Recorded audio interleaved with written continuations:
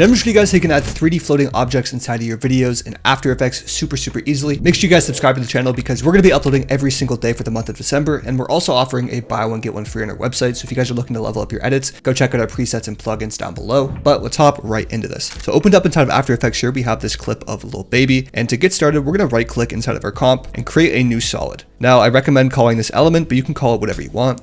And then we're gonna go up to effects here and we're gonna search up element as we're gonna be using this to add 3D to our video. So go ahead and drag and drop that on top of the element solid. And you guys can see it goes transparent. Go up and open your effects controls and open up the scene setup. Now, if you guys wanna get 3D assets, there's a bunch of websites you can download for free. I got this $100 bill for free from Sketchfab, but there's also websites like TurboSquid as well. I do recommend Sketchfab because you can view it in like real time and see how it will look in your project. And I also recommend only downloading OBJs as that's what works best inside of Element. So go ahead and hit import in the top left here. And we're gonna click on the OBJ here and then just hit OK with all these settings checked. And you guys can see we can't really see anything right now, but you wanna go ahead and click on your object up here inside of your scene and click normalize size. And you guys can see that makes it a lot bigger. And then we're gonna hit OK. So it's still not visible yet, but we can see it's just sideways.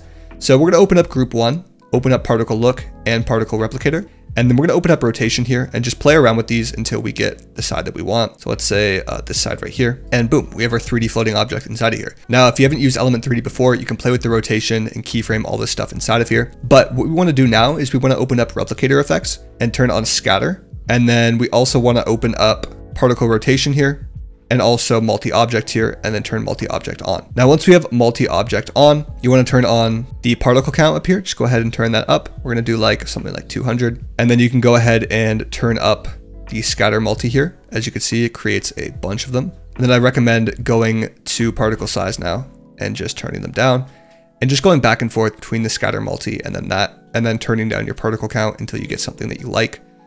So let's go with this here.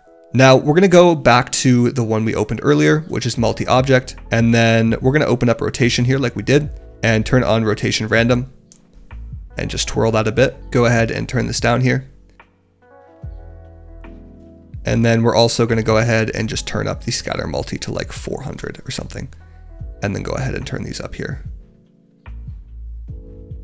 So we're getting kind of a pattern here. So to fix this, turn on displace XYZ turn this to like 300, turn this to like 300, and turn this to like 300. Then we'll turn this down. I meant to turn on scatter. Uh, literally just do that exact same thing for this. So we're gonna literally just mess around with this until we get it the way we want. And then turn on scatter and just play around with these until you get the look you're looking for while also turning down the particle count here. Let's turn this to like 200. All right, so once we have the money looking sort of decent here, I do recommend going down and opening up deform here. And the bend is what's going to really sell the money effect here. So go ahead and enable that. And then we could turn on the bend angle. You guys can see it's like bending the money. And then the bend direction here.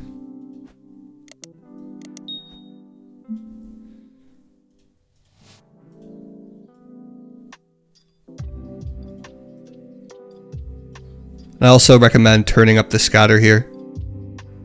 I think the deform is cooking it right now. I'm not really sure why. We'll turn it on X here. Okay, X seems to be good. The deform usually works. I'm not sure why it's being weird right now. We're going to keyframe that one. So at the very beginning, click on the bend direction keyframe and then go to the end and just make it move a little bit. So you get just a little bit of movement with the money there. And then you also want to go ahead and play with the rotation here. So that's going to move all of them here. We don't want that.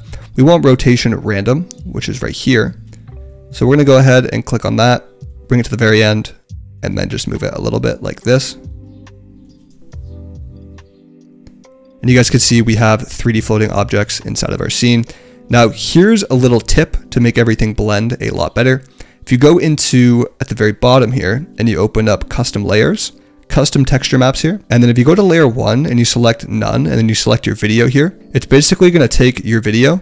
And if you go inside of scene setup now, you could then click on your material texture and go to the environment for it and then click this arrow and you can set it to your video. So it's going to give your video, it's going to match like the colors on it a little bit better.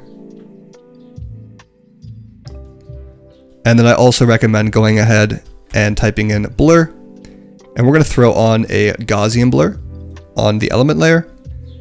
And we're going to go ahead and turn that up since he's in the focus and the money's in front of him. We'll just blur that. So we're going to set it around 10 and we're going to keyframe it. And we're also going to put a Gaussian blur on the background video here. And we're going to set that at zero. Now we're going to press U on our keyboard and then U on our keyboard on the element. And then as we move forward, basically what we're going to have happen is we're going to have the money kind of go in focus fully.